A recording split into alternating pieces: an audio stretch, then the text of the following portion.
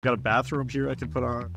I don't remember what jacket you're talking about. It's that like yellow sh- striped and with a pin. Oh yeah, This one's cooler, but I, I like that one as well. perfect.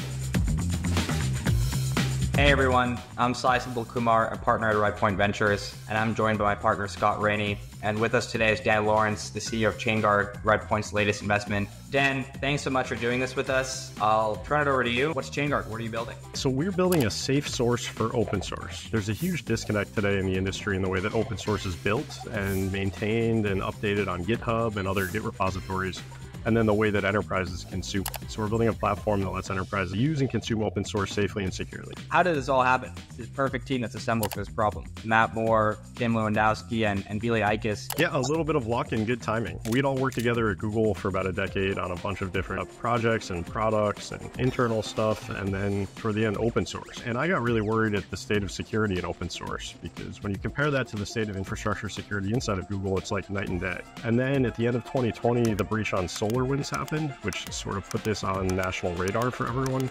There was an executive order from the Biden administration the following spring. Regulators were running around scaring everyone to pay attention to this space. Attacks kept picking up. And my co founder Matt took some time off during the pandemic. And one day he finally said, All right, I'm ready to work again. But how about instead of coming back to Google, we quit and do a startup? It seemed like the perfect time. And that was really the only push we needed to get this company started. What is it about ChainGuard and your particular approach that's allowed you to take advantage of an opportunity that seems like it's existed for some time? People have known about this since 1984 when Ken Thompson wrote that famous paper called Reflections on Trusting Trust. So he sort of scared everyone into forgetting about this problem because it was so intractable. Now, the rise of open source and more unfortunately, the rise of attacks on kind of these supply chain dependencies have led to people being ready to take action here. Security kind of always works that way. One of the things that got us very excited was how massive of an undertaking this is, securing all of the world's open source software. How on earth do you plan on doing this, or how are you doing this now? one open source project at a time. When we first started off, uh, we knew the supply chain security space was really messy. It's a whole bunch of categories all rolled into one. So as we entered kind of the start of 2023, the demand just became really clear that people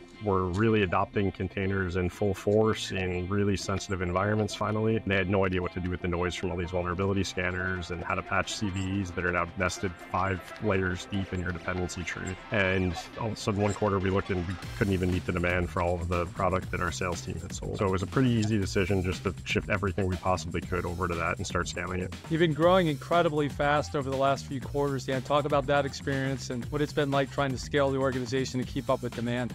It makes forecasting timelines in the future pretty hard when we're growing much faster than we thought we were going to be. This is just such a massive and daring undertaking. 98% of the world's code base is open source. So it's not just the security business. ChainGuard will be and already is how you procure, build, and run open source software. The positioning of ChainGuard, especially ChainGuard images, is really clever. It's the definition of shift left. You're injecting security right from the start, and ChainGuard Images has extremely strong product market fit. As Scott said, it's one of the fastest growing enterprise products we've seen in the past couple of years. This is the perfect team. We couldn't be more excited about partnering with you. We're really excited to partner with you as well.